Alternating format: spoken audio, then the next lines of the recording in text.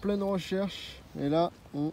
Bah, en pleine recherche. Tu vois, le mec, il dit en pleine recherche, mais il est assis, jambes croisées. non, en pleine recherche, bah, vous voyez, par terre, du coup. Euh, on est sur un gisement de schiste.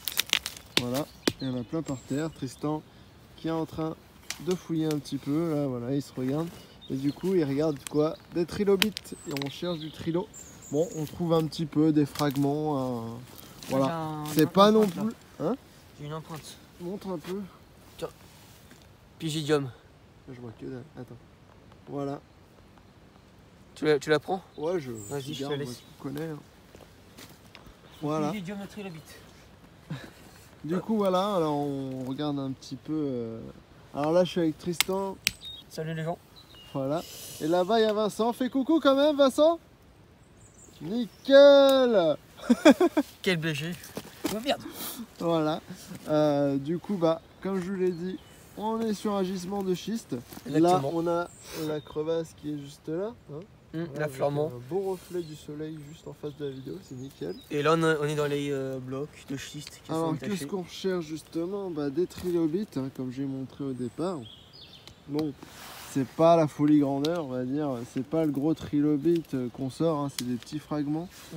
Euh, ça peut aller du thorax, de la tête, euh, Et un à- petit peu le, la peu la queue. ouais, mais voilà. Mais euh, rien, rien d'impressionnant, quoi. Alors voilà, bah, Tristan va nous expliquer un petit peu le Mm. site. Donc là, comme a dit Simon, on est dans le dans des schistes qui datent de l'Ordovicien. Donc l'Ordovicien, pour vous donner un ordre d'idée, c'est 443 à 480 millions d'années, donc euh, au cours de l'Ordovicien. Deuxième période de l'ère paléozoïque, ère primaire après Cambrien. Et là, le site spécifiquement, on est à 465 millions d'années, en Ordovicien moyen. Et oui, on trouve du trilobite euh, principalement. Alors le seul genre que j'ai en tête, c'est Nesuretus. C'est le, genre de trilobite qu'on a le plus. Et sinon, il y a 3 ou 4 autres variétés de trilobites, mais bon, là, c'est que du, euh, que du fragment. Et euh, les trilobites, pour, vite fait pour info, c'est des arthropodes, comme euh, les insectes, les crustacés, etc. Avec, avec 20 000 espèces. Et les tout derniers ont disparu il y a 252 millions d'années, à la fin du, du Permien. Quoi. Donc là, on va trouver sur des trilobites un peu primitifs, on va dire. On casse des schistes parfois, mais c'est pas très transcendant. Souvent, c'est des petits morceaux, des petits pygidiums, donc les queues. Le céphalon, donc la tête. Là, ai trouvé un, une tête complète euh, avec la glabelle et les deux petits yeux. Et le thorax. Mais le thorax, c'est plus rare quand même, j'ai l'impression que c'est plus fragile. Voilà. Donc, euh, ça fait quoi? Deux heures, trois heures qu'on cherche. Donc, il n'y a pas. Il n'y a pas masse, mais bon. Non, on ça- trouve des poches. On va dire que c'est déjà pas mal pour commencement. On trouve des poches, mais voilà. Bon, par contre, ce qu'il faut savoir aussi, c'est que c'est pas mal humide aussi. Du coup, c'est pas terrible. Bon, il y en a plusieurs. hein. Il y a ici, il y a là-haut. Là, c'est- Voilà, il y a là-haut. On est euh, un peu sur euh, des gens qui ont cherché. Voilà.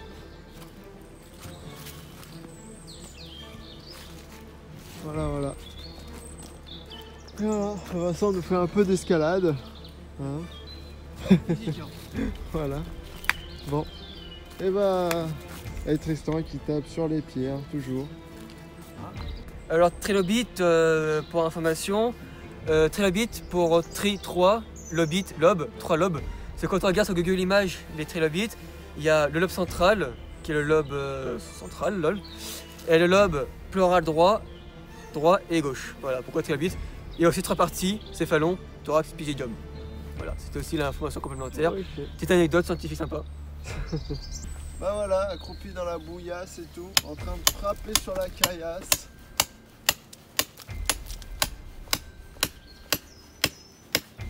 Le schiste, euh, l'inconvénient, c'est que ça s'effrite pas mal. hein.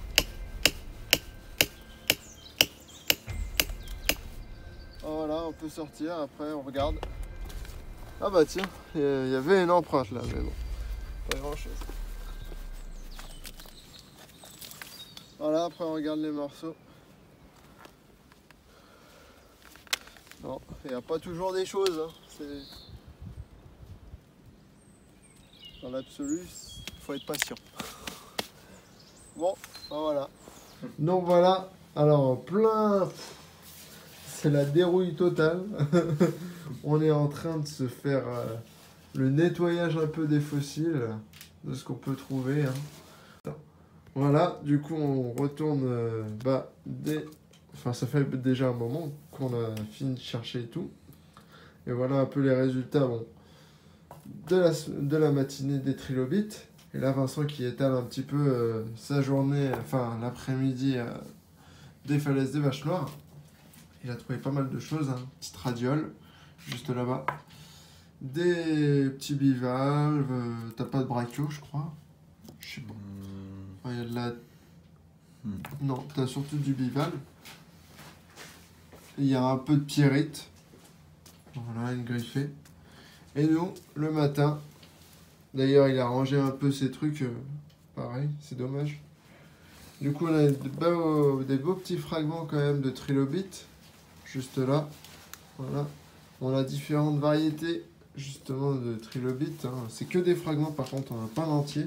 Mais bon, c'est déjà pas mal. Voilà, des petits fragments, des empreintes. Euh, voilà, tout petit, microscopique. Alors là, pour, pour voir ça, ça, pas, ça va être coton. Voilà, juste euh, là. Vraiment tout petit, avec une empreinte au-dessus. Qu'est-ce que j'ai d'autre Bon, y a pas, c'est pas non plus la grande folie, euh, on va dire, euh, des grosses trouvailles. Mais bon, ça change euh, un petit peu de ce qu'on trouve habituellement sur Villers-sur-Mer, c'est-à-dire Ammonite, euh, Ossements. Là, on est sur du beaucoup plus vieux et c'est sympa, c'est ça qui, qui change un peu.